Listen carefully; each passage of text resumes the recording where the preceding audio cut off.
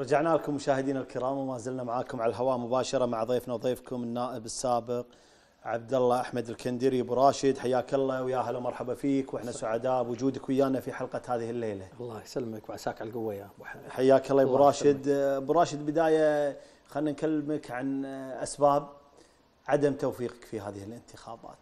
طبعا بسم الله الرحمن الرحيم آه، اول شيء ارحب فيك أخوي أبو حمد وعساك على الساده المشاهدين. وكذلك من الجانب الآخر في هذا المقام وهذه المقابلة أتقدم بالعزاء لسمو يعني أبناء الأسرة آه لوفاة المرحوم له الشيخ ناصر صباح الأحمد. رحمة الله عليه. آه الذي كان مدافع عن المال العام وحريص جدا على محاربة الفساد وتغريداته واضحة في هذا الشأن. وأتذكر جيدا لما كان وزير الدفاع ولما أثار ما يسمى بصندوق الجيش الذي هز المجتمع الكويتي وعلى أثره استقالت الحكومة نعم.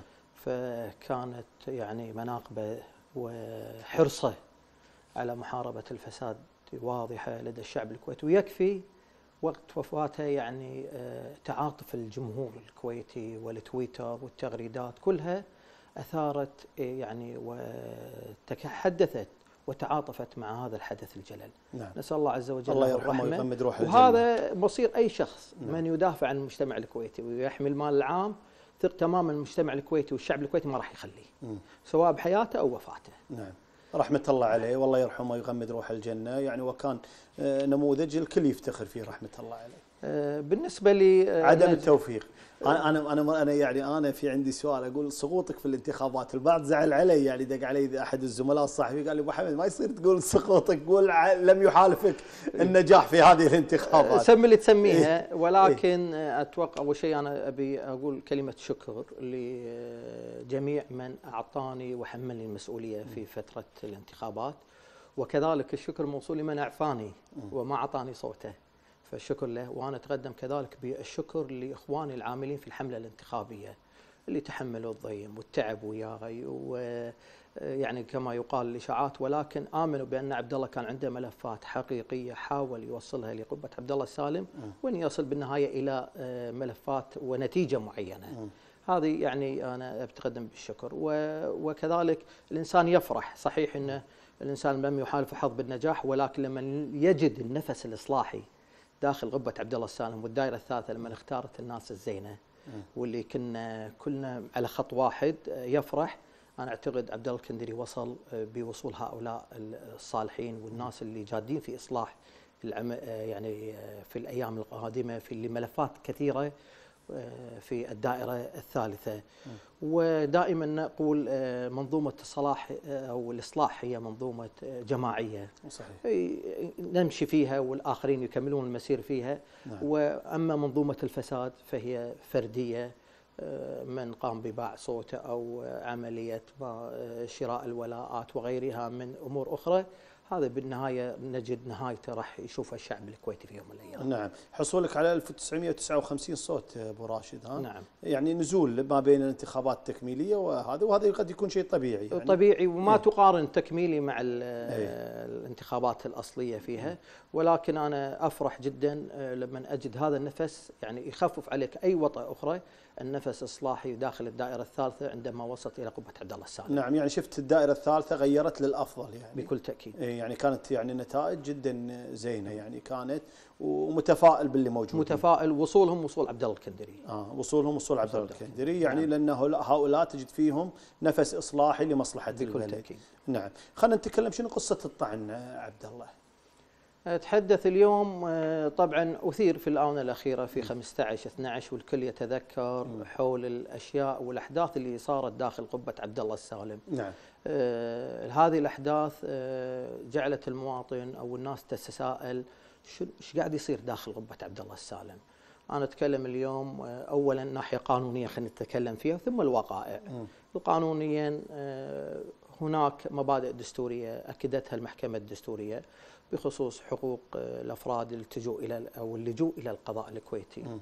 هذا جانب وكذلك هناك مبادئ دستورية للمحكمة الدستورية بأن لا تكون السلطتين بمنأى عن الرقابة عن أعمال المحكمة الدستورية وهذا حق أصيل للمحكمة الدستورية في هذا الجانب نعم.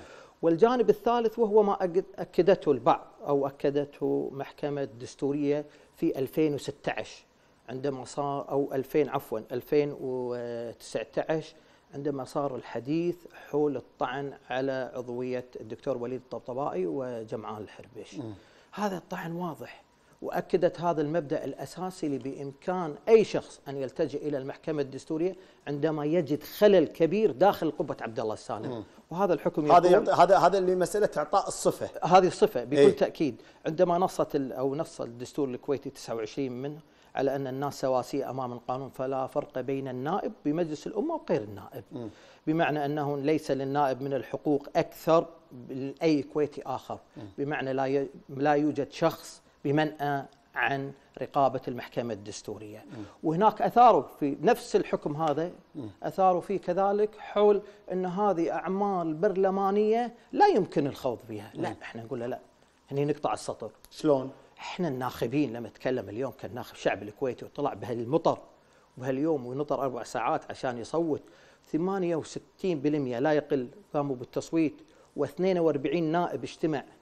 حتى لا يقول لي مرزوق الغانم لا للرئاسة. كل هؤلاء لأن اليوم صفة الرئيس اليوم يمثل لا ما يمثل نفسه يمثل السلطة التشريعية ككل واللي إحنا اخترنا منهم الخمسين.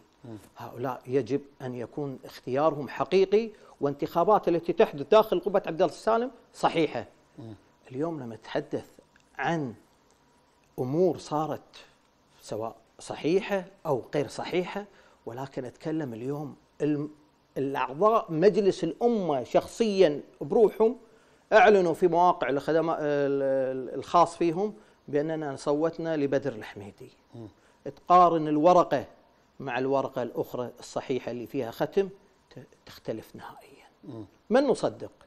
اليوم أنا أقول حق أي مواطن يريد أن ي- يصل إلى الحقيقة هل تصدق الورقة اللي تم نشرها من نواب أعضاء مجلس الأمة الحاليين؟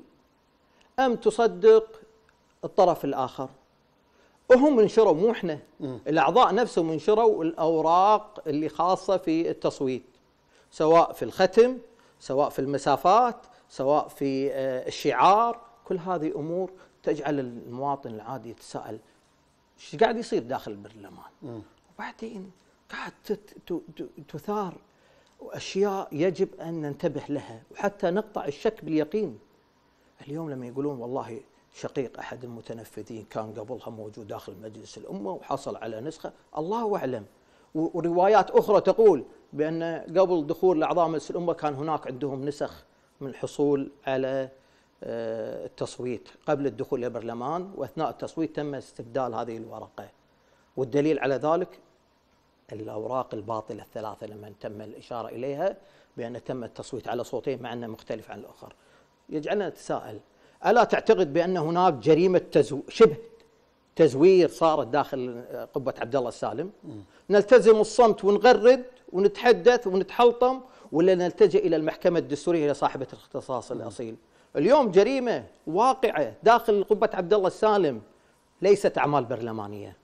يجب أن القضاء يتمحص هذه الأوراق، مو فقط آه، آه، يتمحص هذه الأوراق ويشوفها ولكن يشوف كذلك ما تم إثارته من قبل النواب. اليوم لما يقول النائب بس بالنهاية أبو راشد يعني الأوراق اللي راح تكون موجودة أوراق صحيحة أنا فيها فيها بدل الحم... لا يعني اللي موجودة في. حتى لو في أوراق تقول يعني سربت وطلعت كانت في البداية أو غيره بالنهاية الأوراق عليها الختم وهي وعليها توقيع آه، قصدي آه، تصويت النواب وخلاص. جيد. إيه شنو إيه، وال- والفرد صار. جيد. أنا إيه. ما أتكلم اليوم عن الأوراق قد تكون كلها صحيحة. إيه. ولكن أنت هل تعطيني ضمان أن كل الأوراق اللي داخل الصندوق صحيحة؟ بموجب ما نشر من قبل أعضاء مجلس الامه اليوم خلينا نتكلم بكل أريحية. يجب أن يكون هناك توضيح من قبل النائب الدكتور عبد الله الطريجي والنائب كذلك ناصر الدوسري حول الأوراق اللي تم وضعها في التويتر. موقعهم هم اللي تم نشره. نعم. تختلف عن الأوراق اللي تم إدلاء فيها الصوت. شنو السبب؟ إحنا ما نقول اليوم اليوم فقط الأوراق اللي داخل الصندوق قد تكون صحيحة من عدمها أنا أقول لك اليوم في أوراق سربت.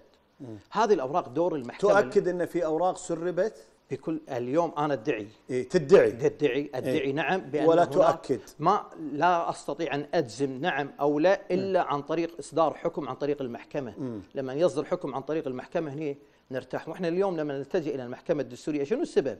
حتى تضع قاعدة قانونية. مثل ما صار في 2016 أو 2018 خاصة بالطعن بالأعضاء. اليوم كان الكل يتحدث عن الطعن. الدكتور جمعان الحربش ولي الطبطبائي ليس من اختصاص المحاكم الدستورية. جيل أكد المبدأ الأساسي والسامي المحكمة الدستورية. اليوم إحنا نبي نزرع ونؤكد ونستوثق للأجيال القادمة عن حكم المحكمة الدستورية. اليوم. نعم في كل الممارسات اللي صارت في عملية تصويت الرئاسة. تصويت الرئاسة. هذا نعم. جانب. الجانب الأهم منه اليوم أنا ما تقدمت والتزمت الصمت فقط على المحكمة الدستورية. لا كذلك قدمت شكوى بالنيابة العامة. قلت هناك شبهة تزوير يجب أن يتم التحقق منها وتم إثارته من قبل النواب. تجعل الإنسان حيران. هل فعلا هذه الأوراق اللي تم وضعها صحيحة من عدمها؟ هذه الأمور وكيف سربت خلال أنا حسبناها وعندنا الأوقات لما اعلنوا النواب إن إحنا صوتنا لبدر الحميدي وبين ما تم التصويت له. ما في إلا دقائق هذه الأوراق من وين حصلوا عليها؟ لا حد يقول والله أنا ما أتحمل نفس البيان الأمانة العامة لمجلس الأمة. قالت كل نائب يتحمل مسؤوليته. نعم يتحمل مسؤوليته ولكن شلون حصلوا عليها؟ إحنا ما نتكلم داخل الصندوق نتحدث عن التسريب اللي حصل. وهذا يجب يعني الممارسات تقف في هذا الجانب. وممارسات التصوير وما التصوير؟ الممارسات الأخرى ما تبطل عملية الانتخابات؟ أنا أتكلم اليوم بطعني الخاص في إيه. فقط هذا الجزء أنت في. الأوراق. في, في الأوراق في نعم. الأوراق طعنك أنا- لكن لم يكن طعنك في قضية تصوير, التصوير أو غيره. نهائيا. إيه. وأنا من انصار نظرية والدكاترة بعض الدكاترة القانونيين أخذنا من علنية الجلسة. آه. أنا كنت أتمنى من الناس اللي اللي يتم إعطاء العلنية في التصويت سواء للرئيس أو نائب الرئيس. ما يكون في سرية. وهذا في أساس أساس في 1962 صار نقاش حول علنية القوانين والمشروعات ويتم السريه فيها. الله يرحمك يا جابر الأحمد. الله يرحمك يا سعد العبد الله تكلموا قالوا إحنا نبي علنية التصويت. كان هناك حكمة يرونها ولكن جعلوها وساروا على اللائحة الموجودة الحالية. اليوم عندنا اقتراح كان أساسي. كان يفترض من رئيس السن في مجلس الأمة أن ينظر. أنا ما أقول لك صوت عليه أقول لك يا أخي ناقشة. اقتراح من النواب بأن يكون هناك تصويت علني. خليه يصير نقاش. والقانون يخول لائحة تخول اليوم تخول انه يطلبون أجل أسبوعين. يقول لك وفقا للائحه المادة جيد، بس- 35 وغيره والحديث هذا عن المادة نقاش. 92 من الدستور. ليش يعني الخوف؟ وارتباطهم. ليش الخوف؟ ليش ال ال الإرهاب هذا الموجود؟ يا أخي النواب يبون شيء اعرضه وانت بعدين ابدي فيه، ما قلنا لك إحنا صوت، اليوم فقط عملية مناقشة. هذا ال- ال- الطعن اليوم أتحدث اليوم بكل أريحية. يجب أن يرى النور بإذن الله، وإذا كان هناك وأنا بهذا الصدد تواصلت مع آه، الأخ النائب آه، بدر الحميدي. حول آه، بضرورة انضمامه لهذه الدعوة. وتركت له صحيفة من الدعوة والمستندات الدالة على صحة ادعائنا. على مكتبة للاطلاع عليه حتى يكون هناك جدية أكثر في ومصلحة صاحب المصلحة يكون فيها أمام المحكمة إيش رد. عليك ابو ناصر قال أنا؟ بطلع عليه وهذا حقه مشروع إيه، بالاطلاع عليه. أنا أقول لكم اليوم حتى نقطع الشك باليقين وحتى ما يثير يثار اللقط وشنو داخل الصندوق وبكره تطلع لنا حواتيت وهذه الممارسات يجب أن تقف. يجب والله أقول لك يمكن آه، مو يمكن لا أكيد إلا هناك الله عز وجل بيفضحهم. أنت لما تيجي تعلن تيجي تقول أنا صوت حق فلان وأنت غير آه، صادق. يا أخي كن صادق مع نفسك كن صادق مع ناخبينك كن صادق مع الله عز وجل. يا أخي ليش أحضر أنا اجتماعات الثلاثة اللي صارت؟ صح إذا أنا ما بصور ليه أنا؟ وأنا أحترم. مع إني مختلف وياهم إيه. أحترم الناس اللي ما راحت. يا أخي لا أروح وأنا عندي وجهة نظر معينة وأنا أختلف وياهم. أما أروح وأقسم على أني أعطي بدر الحميدي وثم أدي وقت الانتخاب وأغير وبعدين مو من هذه فقط. الأدهى من ذلك اليوم أعلنوا كم كم واحد ويا بدر الحميدي 28 ثلاثة أوراق قاطله وفق المعلن عندهم عند الشباب ال- ال- انجاز التعبير المعارضين اليوم أكثر من أ- ثلا- 32 واحد أعلن إنه هو صوت وحط الصورة إنه هو ضد بدر. مع بدر الحميدي إيه، شلون؟ شلون؟ هذا السؤال وهذه الشكوك يجب أن تقطعها المحكمة الدستورية، ما نتركها والله يحقق أو مجلس الأمة قد ما يحقق. آه، شافوها. لا ما هي اعمال برلمانية. هي اعمال لأن الدستور الكويتي مادة 92 واضحة. اليوم لما نتحدث عنها نتكلم عن إن اختيار رئيس المجلس الأمة وفق المادة 92 يكون بطريقة معينة. إحنا نستند اليوم إلى المادة 92 ما نتحدث انه والله شيء صار واستوى. وأنا أقول لك شيء بختمها لك بالجزئية. لو لو إن بدر الحميدي فعلا فاز هل تعتقد أن الطرف الآخر راح يلتزم الصمت؟ أنا أتركها لك. لابد أن يكون أكيد راح يتحدث الكل نفس ما يكون في خلل في التصويتات والإعلانات راح يتم الطعن أمام المحكمة الدستورية بهذا الشأن. اليوم المحكمة الدستورية هي الملاذ لنا وهي الفيصل لنا في الأيام القادمة. واليوم أكدنا فقط ليس على الطعن أكدنا كذلك لجوءنا إلى النيابة العامة لتحريز هذه الأوراق والنظر فيها واستدعاء النواب اللي أعلنوا إن إحنا أعطينا بدر الحميدي. لما تعلن وتحط لي نفس المستند نفس لا تيجي تقول لي فوتوشوب لا تيجي تقول لي والله أنا اللجنة الإعلامية حطت لي الصورة هذه عندنا الوقت وعندنا التاريخ وعندنا الساعة اللي أنت نشرت التغريدة وبينما أنت متى صوت. هذه الأمور تجعلنا تجعل إن في هناك شيء ما يحاك داخل غبه عبد الله السالم. شنو هذا الشيء؟ اتركها المحكمة اللي راح تفصل أي. هذا الأمر يفترض أن يتم يعني الحديث عنه بكل أريحية وبدون تشنج وبكل صراحة إذا كان هناك خطأ من عدم وإذا كانت الأمانة وفق القانون متورطة تحاسب عليها. زين نبي الزبدة والخلاصة يعني من كلامك هذا أبو راشد يعني هل في تزوير أنت شايف؟ أنت تحدثت اليوم بالطعن أن هناك شبهة تزوير والمطلوب من المحكمة ومن النيابة العامة أن تتحقق فيها بموجب آه، الصفة اللي ممنوحة لها وأنا أقول لكم إذا كانت اللي تفضلت فيه من شواهد صارت داخل غبة عبد الله السالم فهي جريمة وقعت. مم. الجريمة هل نحن نلتزم الصمت أو النيابة العامة تغل يدها أو التحقيقات لو كانت هي المختصة اليوم يجب أن يتم التحقيق واستدعاء النواب حول الأوراق اللي تم نشرها من المواقع. تتوقع هذا سيحدث؟ آه هذا القانون. أي هذا القانون بإذن الله أنا أنا أنا أرفع الدعوة وأعزز موقف الدفاع والأدلة فيها والأمر متروك للقضاء في هذا الجانب. تدفع 5000 دينار صح؟ بموجب القضية هذه لا هي طعن إيه، خاص طعن خاص. يختلف لأن إيه طعون من الانتخابات التي أجريت خلال الفترة آه زين أيضا أنت تو قلت كلام قلت آه لو كان الطرف الآخر يعني كان رفع قضية وكذي لكن أنا بقول إنه ما دام بدر الحميدي ما رفع ليش أنت عبد الله الكندري رحت ورفعت قضية وطعنت في موضوع إذا صاحب الشأن بدر الحميدي ابو ناصر ما رفع قضية. وانت يعني هو الآن عنده دراية في الموضوع اللي انت ذكرته لكن ليش انت ترفع قضية؟ شنو مصلحتك؟ أنا أتكلم عن الآتي، اليوم آه، رئيس السلطة التشريعية لا يمثل نفسه، يمثل ال 50 نائب الموجودين داخل غربه عبد الله السالم. نعم. والناخبين هم اللي اختاروا ال 50. اليوم إرادة الناخبين تبي بصريح العبارة هل إحنا أمام ما يسمى فضيحة رئاسة ووترجيت من عدمه؟ بهالدرجة؟ بهالدرجة نعم لأن اليوم ممارسات لم تحدث في السابق، أنا إذا بتحدث اليوم عن بعض الأخطاء اللي صارت داخل مجلس قبة عبد الله السالم يوم الافتتاح ما صارت في المجالس السابقة من رئيس السن في وقتها. أتكلم اليوم أكثر من تسع أخطاء قانونية صارت. والتزم الصمت. شنو هذه الأخطاء؟ الأخطاء اليوم نتحدث عنها بكل إسهاب، اليوم تسريب الأوراق.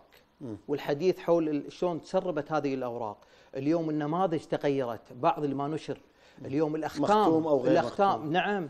اليوم بخلاف الختم هناك آه، الشعار يختلف. اليوم كذلك الاقتراح الذي قدم من قبل أعضاء مجلس الأمة بضرورة مناقشة الصوت العلني العدم أو سرية. تم اسفافه واصلا كنا ما يدري. هذا هذه الأمور. كذلك اليوم ما صار تقطيع الورد داخل مجلس الأمة. الصخب اللي صار اليوم الكبير داخل مجلس الأمة. اليوم الأسوأ من ذلك كله التأخير في انتخاب اللجان. م. كان المفروض أنه يتم انتخاب اللجان. تم تأجيل أسبوع كامل. باتفاق مع النواب التصويت. جيد والمجلس سيد قراراته جيد. صوتوا ووافقوا جيد. إيه؟ هذا يفترض أن يتم استكمال الجلسة العادية. تجي تقول لي والله أنا عندي سنة 2000 واقعة أنا أقول لك قبل لا تقول سنة 2000 أي. أنا عندي إنها اليوم- جلسة خاصة. جلسة خاصة اليوم أنا عندي شيء أكبر من سنة 2000 اليوم أتحدث عن هذا الموضوع في المحكمة في المجلس التأسيسي سنة 1962 صار الحديث حول هذا الموضوع حول اجتماع بس هو كان ينصب الموضوع على اجتماع المجلس البلدي هل هو قبل خلال أسبوعين؟ وشلون بعض المشاريع الكبيرة واللجان إذا تبي نسقطها على اللجان الحالية الاجتماع هذا شلون ما ين- ينتهي خلال كل أسبوعين مرة؟ إحنا بنجتمع مرة ومرتين وثلاث. الخبير الدستوري سنة 1992 شو يقول بالمذكرة شو؟ يقول؟ يقول يلاحظ أن المقصود باجتماع كل أسبوعين ليس الاجتماع يعني يوما واحدا. الاجتماع الواحد قد يستمر ثلاثة وأربعة وخمسة. لما ينتهي الموضوع. يعني بمعنى اجتماع ال- ال- ال- الجلسة يوم 15 12 مستمرة. ما في تكون هناك جلسة خاصة أو جلسة محددة لأمر معين. اليوم الاجتماع وفق الدعوة التي وجهت لأعضاء مجلس الأمة وراجع الدعوة. افتتاح سمو الأمير اختيار رئيس ونائبة والمكتب ثم بعد ذلك انتخاب اللجان. إذا مستمرة الجلسة. ما حد يجي تقول لي والله سنة 2000 أنا عندي واقعة. قد تكون واقعة أخرى لكن اليوم المجلس التأسيسي 1962 كان لي رأي واضح. الاجتماع بنص الآتي الاجتماع قد يستمر عدة أيام بناء على جدول أعمال واحد ومع ذلك يعد اجتماعا واحدا. اذا هذا الخلل اللي صار. في خلال يوم 15 12 نعم. والصخب اللي صار والأمور اللي لم تكن نعم بس أبو راشد. خليني أقول لك يعني البعض يقول آه، أنت ذهبت إلى الطعن في موضوع رئاسة السيد مرزوق الغانم بسبب خلافك ويا السيد مرزوق الغانم في موضوع الحدث الأخير في موضوع لجنة الداخلية والدفاع وكذا لك موقف شخصي مع السيد مرزوق الغانم. ردك على هذا الكلام. أتكلم اليوم إحنا اليوم أمام قانون وأنا قبل لا أكون رجل سياسي رجل قانوني. إذا من نرجع إحنا في الماضي إحنا ترى من الناس اللي صدرنا بيان العام مع 15 شخص حول إدارة الجلسة في العفو الشامل. إحنا من الأشخاص اللي وقعنا على بيان يوم افتتاح سمو الأمير ال- ال- وكلمة مرزوق الغانم بأن المجلس متعسف في استخدام ادواته الدستورية والاستجوابات. وقعنا على بيان. إحنا من الناس اللي وقعنا على أمور كثيرة. ما هو خلاف. إحنا نختلف اليوم مع عمل معين. اللجنة الداخلية والدفاع وقضية أو قانون البدون لأن كانت وجهة نظر بيناها. لا يمكن حل المشكلة خلال 60 سنة خلال خمس دقائق. هذا الأمر وانصب هذا الأمر وانتهى. اليوم أنا أتكلم اليوم كرجل قانوني. لما أرى جريمة معينة والحديث حول الشارع يتحدث على أمر معين هل نلتزم الصمت واغرد وأسكت؟ ولا لا التسم ألتجئ للوسائل القانونية؟ وهذا يجب أن يفرح الجميع. اليوم اليوم أستمتع أنا لما أقرأ بالتويتر وأقرأ بالمواقع الدكاترة بالقانون من يؤيد ومن يعارض. نفس ما تفضلت. في مصلحة ولا ما في مصلحة؟ لك صفة ولا ما لك صفة. هذا شيء رائع. هذا إحنا جبلنا في العملية الديمقراطية أن يكون هناك وجهة نظرين. وإحنا بعدين بسألك سؤال ليش التخوف لما نلتجي حق المحكمة الدستورية؟ وليش التفسيرات اللي نروح يمين وأقصى شمال؟ إحنا رايحين حق المحكمة الدستورية ورايحين حق النيابة العامة. إذا كانت الأمور صحيحة ويو النواب اللي أعلنوا ال 32 واحد اللي حطوا بالمواقع انه فعلا إحنا اخترنا بدر الحميدي وهذه الأوراق. خلي يشرحوا لي سؤال واحد فقط. كيف تم تسريب هذه الأوراق إلى وسائل الإعلام؟ الأمر عندهم والأمر بينهم وبين النيابة العامة. هذه الأمور الأخرى اللي كنا حريصين أن نعم لكنك تنفي في مسألة موضوع ال- ال- الخلافات وغيره. لا بكل تأكيد. إحنا نختلف على الممارسات نختلف على الأداء نختلف على إدارة الجلسات. هذا شيء آخر. نعم. لكن إحنا نتكلم اليوم عن حق دستوري أصيل. وضحت هذه المسألة. عن نتحدث عن المجلس في بداياته أبو, راشد. أنت قبل شوي تقول أنا يعني تف- بتفائل في مخرجات الدائرة الثالثة. كانت مخرجات نوعا ما طيبة. شلون شفت المخرجات في المجلس؟ وشنو الأولويات المفترض النواب يتعاملون معها خلال المرحلة الحالية؟ أنا أتكلم اليوم آه، في ناس آه، تتوسم فيهم الخير. واخوي أنا من الناس اللي يعني اعز أخوي آه، المضاف مهلهل. من الناس اللي جاد في عملية محاربة الفساد وحمل يعني والله يعينها على حمل هذه الأمانة. تحدث اليوم يجب أن يكون لدى الكتلة اولا يجب أن تستمر هذه الكتلة بأي شكل من الأشكال. لازم تستمر. لازم تستمر. أي. العدد ما هو بسيط. وخلى بالعكس كثر ما ينقص ويكونون صافين أفضل مما يكون عدد كبير ويتفلت البعض. هذه الكتلة مهمة جدا وجودها داخل.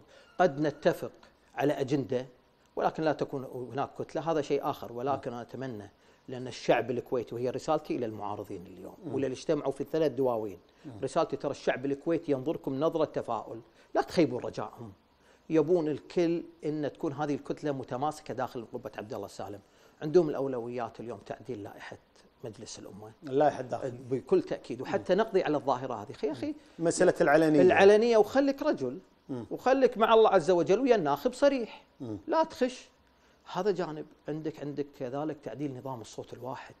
والله أنا أعتقد إن السلطة راح توافق على تعديل نظام الصوت الواحد للأسباب التالية. المذكرة الايضاحيه اللي هي القانون 42 خاص بالصوت الواحد تحدث عنها. سبب بقاء أو أركان الاربعه للصوت الواحد بروز مظاهر الطائفية والقبلية والفئوية. ظاهرة شراء الأصوات تغليب الدور ال- ال- ال- التشريعي على الدور الخدمي اللي قاعد يؤديه النائب بمجلس الأمة. التلاعب في جداول الانتخابات. هذه أربع أركان كان يقوم عليها القانون. بالله عليك لو أسألك أنت أو أسأل المشاهدين. هل هذه باقية؟ هل فعلا صحيحة؟ من عدمه أصلا الصوت الواحد عزز وكرس الأربع الأشياء الموجودة. اذا أصبح عدم وجوده. اي هو بس. اليوم الحكومة يعني أبو راشد سمو الرئيس الشيخ صباح الخالد آه، في حديثة في الجلسة الافتتاحية قال إحنا ذاهبين إلى مسألة تعديل الدوائر وسيكون من أولوياتنا يعني وهذا مؤشر جيد. تعديل الدوائر ما لم يتحدث عن الصوت وهناك كان تعديل إذا تذكر اي وقت الانتخابات قدموا الحكومة بتعديل ال- النظام الانتخابي داخل دولة الكويت، شنو الأساس؟ يتكلم عن الهوية، عن البطاقة المدنية، يتكلم عن هيئة، لم يتطرق من قريب أو بعيد الأمور هذه كلها. اليوم آن الأوان أن يتم تعديل الصوت الواحد، كانت في فترة من الزمن قد رؤوها مع الخمس دوائر؟ مع الخمس دوائر بكل تأكيد. مع الخمس دوائر. مع الخمس لأن دوائر. في كلام إن الحكومة ستتجه إلى عشر دوائر وصوتين. أنا كرأي أنا يعني أي. شخصي أنا أتمنى أصلا هذا ينسف كله. أتمنى يكون هناك قوائم. قوائم يعني نسبية. قوائم نعم هذه هذه الحقيقة وهي يجب ان يعني هذا الإصلاح الحقيقي الديمقراطي داخل دولة الكويت نعم. لكن إحنا إذا نبي نحرك المياه الراكدة إذا كان هناك تعديل فهو نظام وأنا من الناس بعد كذلك اللي قدمت ونوقش في الجلسة الأخيرة نظام الصوتين لما قدم الله يذكره بالخير الدكتور عادل الدمخي بضرورة النظر بتعديل نظام الصوتين في الجلسة الأخيرة، ثلاث قوانين منها القانون اللي أنا كنت مقدمه مع با- باقي الزملاء بتعديل نظام الصوتين. اليوم اليوم تجي تقول لي إذا شنو تتوقع من الكتلة؟ أنا أقول لك اليوم أتوقع اليوم مو فقط الكتلة. ولا الحكومة اللي جت بمخرجات تخالف المخرجات، اليوم يولك ناس يبون يعدلون يغيرون. ما أنسجم معاها. مخرجات وأنا هذا سؤالي لك رأيك في تشكيل الحكومة؟ وكيف وجدت الوزراء وتشكيل هذه الحكومة؟ آه، إلى اليوم مو قادرين نقرأ الساعة الساحة السياسية بشكل صحيح. صباح الخالد غير قادر على قراءته بشكل كبير. اليوم تحدثنا عن مخرجاته والناس تعبوا أربع ساعات. والله إنه يكلمني أحد الأشخاص انه أربع ساعات واقف بالطابور عشان يدلي بصوته. هذا جزاء آخر شيء لما يكون بهذا التشكيل. التشكيل لما يكون في سنة 92 ارجع إلى 92 أخذوا وفق القانون والدستور أغلبية برلمانية. الأغلبية برلمانية. نعم. شو اللي يمنعك لما تأخذ من المعارضين انه يكون نواب آه، يكون وزراء عندك؟ هذا التشكيل الحقيقي هل هو عدم انتباه؟ هل هو القصد من التصادم في المستقبل؟ كل هالأيام راح تكشفها لنا. نعم. لم يكن التشكيل الحكومي على قدر المخرجات ال- الانتخابية اللي صارت. ولم يكن على قدر الكتلة اللي موجودة داخل البرلمان. هذه الأمور يجب أن تراعي في الأيام القادمة. أتحدث اليوم كذلك عن آه، اليوم أنا ما يعنيني الكتلة هذه شنو آه، آه، اشيائها أو طلباتها أو الأجندة اللي راح تحطها في الأيام القادمة وهي يعني المواطنين. ولا يعنيني اليوم كذلك جانب آخر انه يكون هناك البرنامج الحكومي اللي دائما نسمع فيه وما نشوفه. يعني شيء واحد اليوم. اترك اللي على اليمين وعلى الشمال. أنا أقول لك اليوم رسالتي إلى السيد آه، مرزوق القانم رئيس مجلس الأمة. الحيادية الحيادية مطلوبة في الأيام القادمة. عملية إحالة ال- ال- ال- الاستجوابات إلى اللجنة التشريعية أو المحكمة الدستورية أو إيجاد أي مخرج قانوني لهذه الأمور هذا الأمر مرفوض. ويجب أن لا يعاد. هذه رسالة أتوقع حتى الموجودين الم- داخل مجلس الأمة. يجب أن تكون هذه الرسالة واضحة. الممارسات السابقة. تتفق تختلف معها نتركها للسادة المشاهدين لكن يجب أن لا يتم تكرارها مرة أخرى. هناك كانت أولويات هناك قوانين لم تعرض في المجلس السابق. اليوم يا جاء الأوان أن يتم عرضها. خل ترفض الحكومة وخلي المجلس يوافق. والسلطة الأخيرة بموجب الدستور يحق للأمير أن يرجع القانون والاعتراض عليه. هذه الأمور أدواتنا الدستورية. ليش إحنا نخلق أداة دستورية جديدة تختلف عن ما هو موجود؟ هذه الأمور يجب أن تتغير نعم. في الأيام قضية العفو الشامل ويقول لك هذه القضية ستكون يعني المحك في مصير هذا المجلس الحالي وهي القضية اللي يمكن الكل الآن يتكلم عنها. الحديث طويل فيها. هل تتوقع هناك أمل وفي بوادر أمل لحل هذه القضية قضية العفو الشامل؟ أه، أنا متفائل بإذن الله من قبل القيادة السياسية أن يكون حلحله هذه المشكلة وأن يكون هناك إيجاد حل يرضي جميع الأطراف وهذه الديمقراطية اللي تعلمنا نعم في في طلب اليوم من النواب في مقابلة القيادة السياسية نعم. والبعض قال إن هذا الموضوع سيكون الموضوع الرئيسي في طرحه من قبل النواب. بإذن الله ويوصلون إلى حل وإذا لم يكن هناك حل يعني تعتقد إن الحل حل توافقي مع القيادة السياسيه نوصل بإذن الله نوصل إلى هذا الحل اللي يرضي الجميع. نعم. واليوم كذلك إذا لم نصل إلى الحل هذا حق الأطراف كلها. اليوم عندنا حق أدوات دستورية أخرى. المادة 75 وفرها لنا القانون والدستور الكويتي. إحنا نقر القانون والأمر متروك لسمو الأمير فيها. وتعتقد في بوادر حل بالنهاية الناس تبي النتيجة في هذا الموضوع. بإذن الله يعني أن يكون هناك تغيير. العالم تغير. اليوم الأنظمة اللي حوالينا كلها قاعدة تتغير. اليوم ترى هذول بالنهاية عيالنا. نتفق نختلف وياهم. والله التاريخ الكويتي مشرف لما ترجع على الستينيات. واللي صار التفجيرات ذيك الأيام بالستينيات ومنهم الله يرحمه الدكتور أحمد الربعي واخر شيء صفوا الأمور. تنازل عن كل القضايا يظلون بالنهاية عيالنا. بالنهاية ما ارتكبوا جريمة أنا بوجهه نظري. لم يتم ارتكاب جريمة القصد منها الإساءة لدوله الكويت. رأوا فساد رأوا منظومة معينة داخل الدولة الكويتيه يجب الوقوف فيها. يا كثر يا كثر اقرأ الآن البرلمانات في العالم. يا كثر من يدخل المظاهرات تدخل داخل البرلمان ولم يوجهوا له اي اتهام. نعم. أه تتوقع حل مجلس الأمة قريب حل حل هذا المجلس مصير هذا المجلس. أه إذا تمسك أه المجلس الأمة بالثوابت واللي دائما النواب اللي نادوا عليه في السابق من أمور معينة أه مطلب حق شعبي الشعب الكويتي راح يوقف وياهم. أيه. ثق تماما. الحل لن يرهبهم.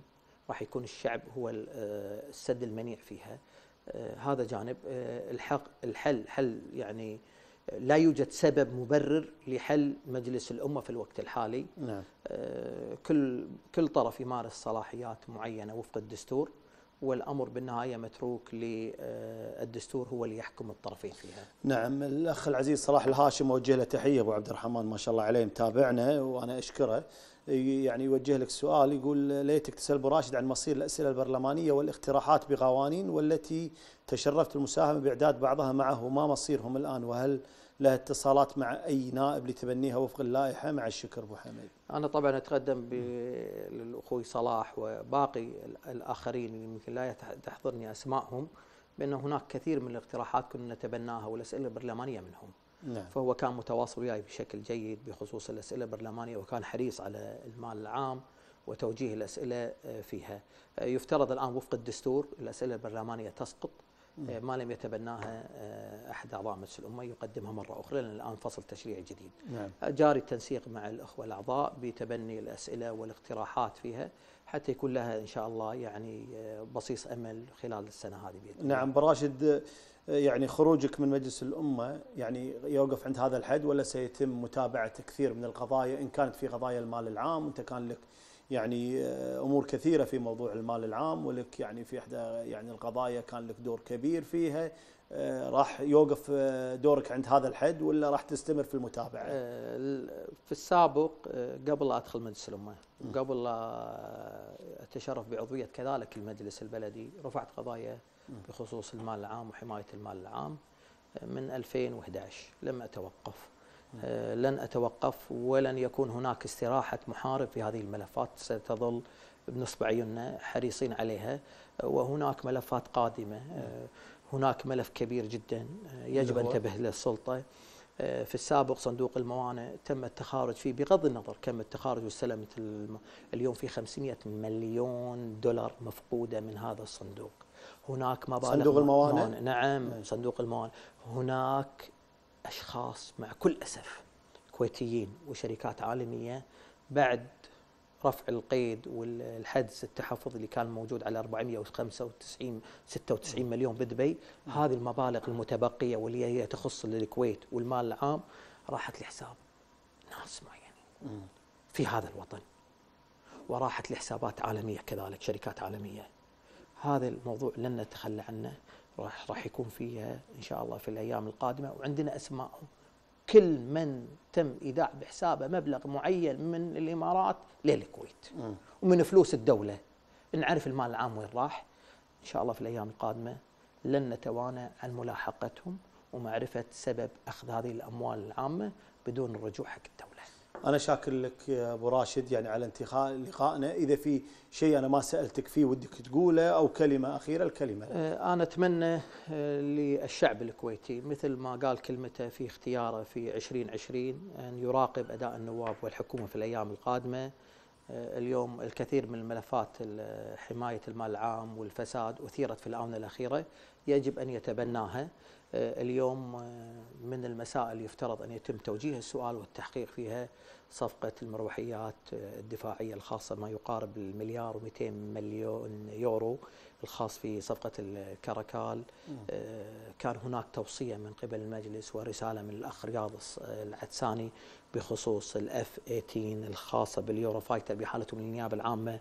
الصفقة نفسها هذه شنو صار عليها؟ شنو الملمات الأشياء الكثيرة؟ يجب أن ينتبهون اعضاء مجلس الأمة. ترى الحكومة دائما تقول لك أحلنا. في حقيقة الأمر الحاله دائما تكون ناقصة. هذا دور العضو في الأيام القادمة. ترى الشعب الكويتي يراقبكم بشكل كبير. نعم أتمنى لك التوفيق أبو راشد. شكرا لك على تلبية الدعوة. ألف شكر يا أبو راشد. شكرا. إذا مشاهدينا الكرام وصلنا معاكم إلى نهاية هذه الحلقة. لا يسعني لأن أشكر ضيفي هذه الحلقة أخوي العزيز النائب مهلهل مضف وأخوي النائب السابق عبد الله أحمد الكندري. أحمد عبد الله أحمد الكندري. أنا شاكر لكم على حسن المتابعة وتقبلوا تحياتي وتحيات فريق البرنامج ومع السلامة.